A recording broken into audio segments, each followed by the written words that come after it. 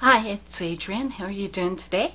And so I thought I'd uh, continue with my travel series and going ahead and doing more of an urban kind of smoky sort of look. And so that's what I got going on today. And as far as going ahead and starting um, for my base, I had the Tower 28 on, and I had this in the shade Melrose and the Pretty Fresh concealer as well. So that's what I have on there. And then as far as cheeks, uh, went ahead and continued on with the Tower 28 in Magic Hour. So I combined um, this one, which is definitely a cream blush, with uh, the ColourPop and Vogue. So uh, these are the two. I know I feel like I should start dancing at this point like that, but um, Madonna, Madonna, Madonna.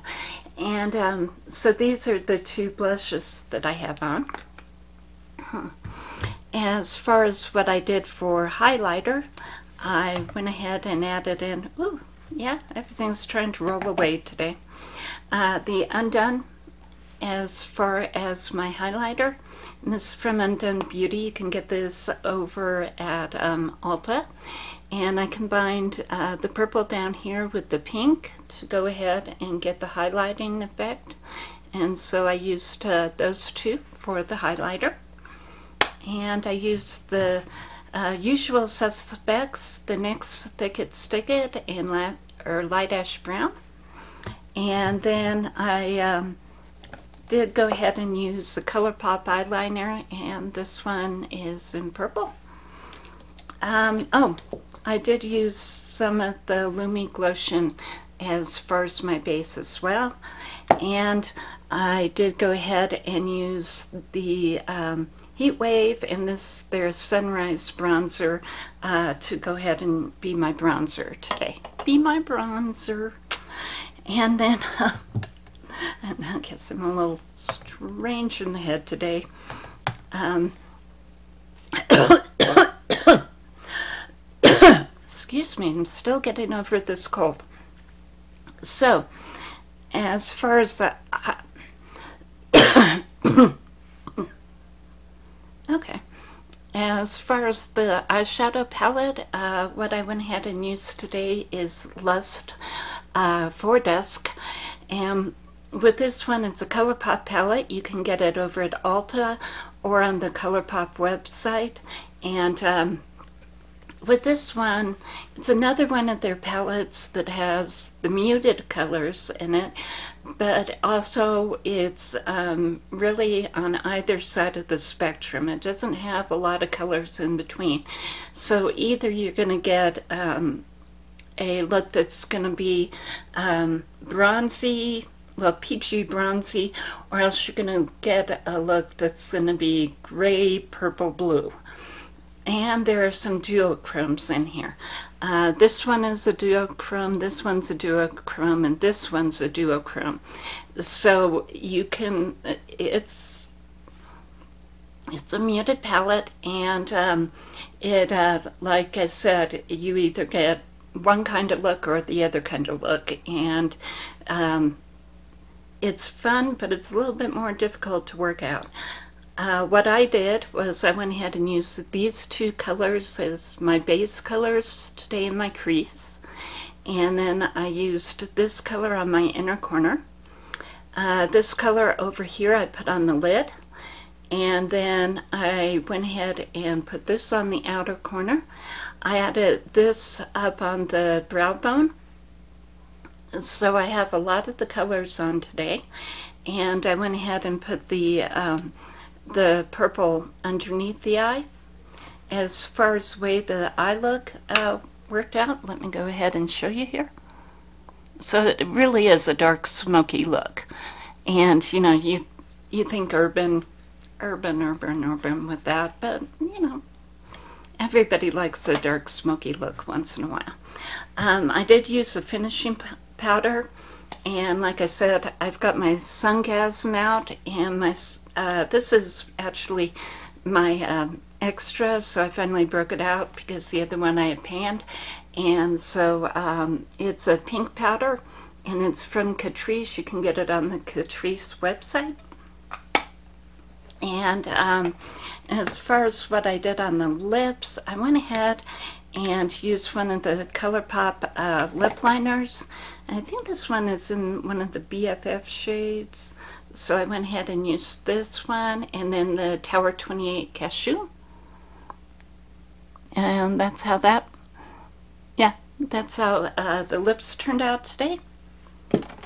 And as far as going ahead and doing the mascara, I went for the NYX on the Rise. This is a mascara primer, and then I Love Extreme.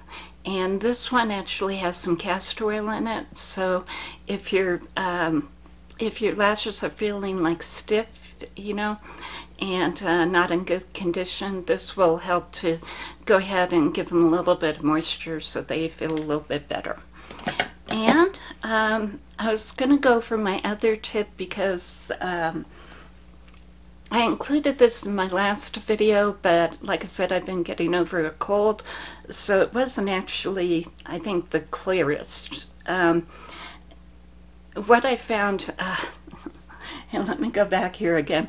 Um, Nadine uh, Baggott, she's an influencer on the UK uh, YouTube, and she was always saying that um, any of your arms and legs, well, as the further you get from uh, your core, from your torso, uh, the drier everything's going to be. So um, your thighs and your upper arms are still going to have moisture, but uh, yeah, your lower arms and hands are going to need more moisture.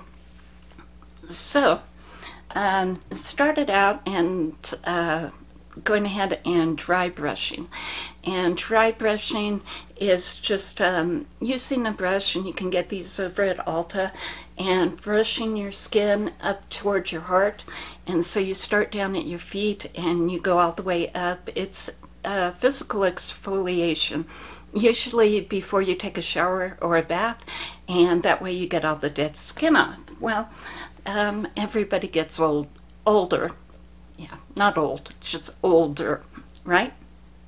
And so um, what I had noticed that a couple of people had done was go ahead and use the ordinary uh, glycolic acid 7%, uh, this one, and uh, gone ahead and put it on arms and legs and wherever they have dry spots. And um, look at how much you get. I mean, that's a lot. And um, there are other ones that you can do this with as well. The uh, Pixi Glow Tonic is a 7% solution, so you could go ahead and do this kind of thing with that too. But if you go ahead and put this on arms and legs, uh, like the night well, the day before you're going to go ahead and do a bath or a shower, uh, then this will go ahead and get to work as far as getting the really dry patches off. And then uh, right before the bath, you do the dry brushing, you know, um, with a brush and you get all the excess skin off.